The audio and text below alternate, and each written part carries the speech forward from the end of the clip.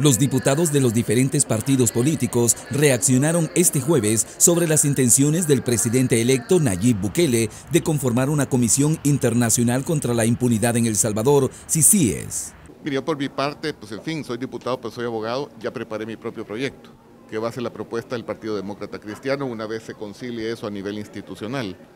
Y francamente nosotros creemos que cualquier soporte internacional va a ser oportuno,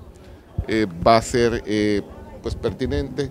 en la medida que se fortalezca también el funcionamiento de nuestra institucionalidad. Pero hay un punto aquí. El ejemplo lo tienen que predicar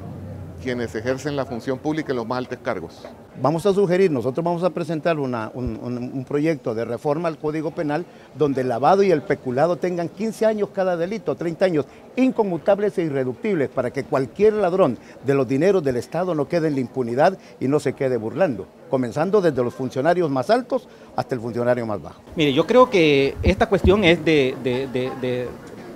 de legislación aquí y al final cuando se tome la decisión eh, que funcione la SICI va a determinar los casos de corrupción, porque pues si hay ministros que podrán haber cometido errores, como también ministros que eh, han hecho su trabajo legalmente como está constituido en el reglamento de, un trabajo eh, ejecutivo. En ese sentido, nosotros pues nadie debe temerle si no tiene ningún inconveniente. Solo van a hacer, solo pueden temerle a aquellos que han cometido errores. Por su parte, el partido de gobierno dijo que espera conocer cuáles serán las propuestas del nuevo presidente sobre la creación de las ICIES. Es que nuestra constitución no lo permite, tendríamos que reformar la constitución y tendríamos que reformar también otras leyes como el tema de la eh, Fiscalía General de la República, pero por eso es que yo le digo, yo creo que mejor hay que esperar qué es lo que él manda, qué es lo que él propone, porque adelantarme a dar una respuesta sin saber eh, qué es lo que él está proponiendo en sí, creo que hay una cosa que tenemos que revisar y nosotros como FMLN estamos dispuestos, somos bancada de oposición, seremos bancada de oposición a partir del primero de junio,